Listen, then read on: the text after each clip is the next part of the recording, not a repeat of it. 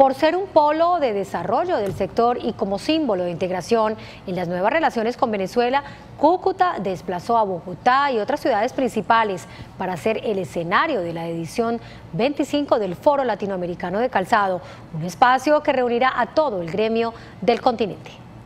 El próximo 22 y 23 de junio, Cúcuta será el escenario de la edición número 25 del Foro Latinoamericano del Calzado, un espacio que contará con la participación de empresarios y delegaciones de las cámaras de la industria de Argentina, Brasil, México, Panamá, Costa Rica, Venezuela, Chile, Perú, Uruguay, El Salvador, Guatemala, Nicaragua, entre otros. Es una gran oportunidad para mostrar no solamente su aparato productivo, el aparato social, sino todo esto que, que desde las entidades gubernamentales, privadas y por supuesto a nuestros empresarios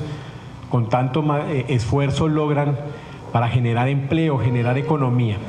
El director de Investigaciones Económicas y Proyectos de ASICAM indicó que se trata de un evento muy importante para las cámaras del calzado, en lo cual se destaca a la capital del departamento norte santanderiano, pues durante el 2022 exportó 2.867.422 dólares en este producto. Se, exporta a Panamá, se exporta a Ecuador, se exporta a Perú, a Estados Unidos. Cúcuta no se quedó quieto y Cúcuta siguió buscando otros mercados aparte del, mercado venezolano. Entonces nosotros vimos que es una zona de frontera estratégica en Latinoamérica, como ya nos decía Sergio, es una de las fronteras más dinámicas de la América Latina.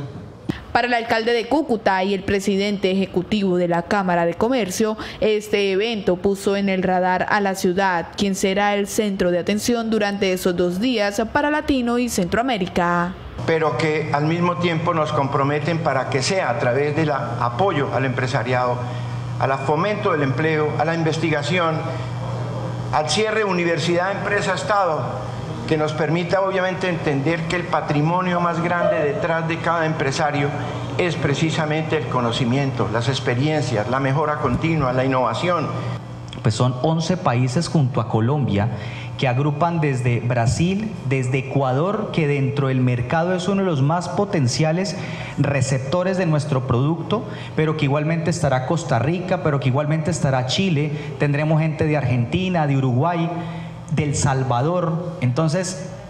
Cúcuta es noticia en ese sentido, tanto la Cámara de Comercio de Cúcuta como la Alcaldía de la ciudad serán las entidades que apoyarán este encuentro del sector del calzado. Sumado a esto, la Gobernación de Norte de Santander también hará presencia.